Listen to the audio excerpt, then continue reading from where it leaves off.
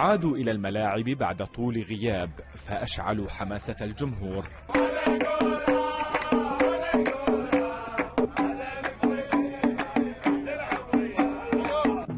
هم قدام لاعبي منتخبي الكويت وقطر.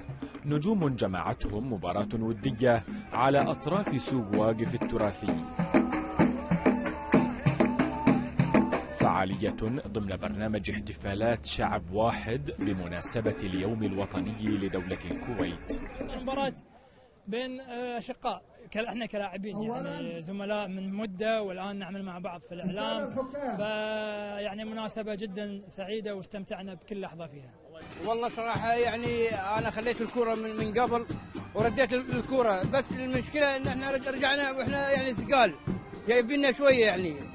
لأن هم هم خايفين منا. وأنا متأكد 100% ان إحنا راح احسن منهم إن شاء الله. هي الفكرة بكبرها يعني إن التجمع الجميل، الذكريات الجميلة مع الأشقاء دولة قطر وأحبابنا. لنا لنا صداقة كبيرة تجمعنا بين بين لاعبين قطر، فالمبادرة جميلة. إحنا استمتعنا فيها واستمتع فيها جميع الموجودين في سوق واقف.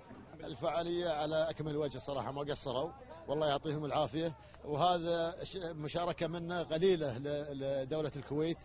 والجيل ذكرنا بالجيل طبعا وأيام اللعب وهم جيلهم بعد هذا نفس الجيل اللي إحنا لعبنا معه ففعاليه حلوة ونتمنى إن شاء الله الاستمرار فيها إن شاء الله. استعاد اللاعبون ذكريات الزمن الجميل وأبدوا مهارات واسعة احتفظوا بها رغم مرور الزمن. سكر وصل سكر وصل سكر وصل. أما الجمهور فالتقى صانعي أمجاده الكروية في أجواء أخوية ممتعة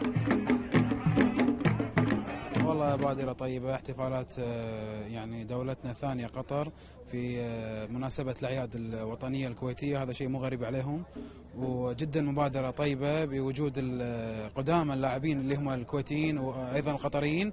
واستمتعنا صراحة في متابعة المباراة تعادل أنهى نصف ساعة من المهارات والشغف وضربات الترجيح كانت لصالح العنابي على الأزرق الضيف. كأس المباراة من نصيب العنابي لكن الفرحة واحدة بتأكيد معاني الأخوة التي تجمع الكويت وقطر في زمن صعب تمر به دول الخليج الواحد.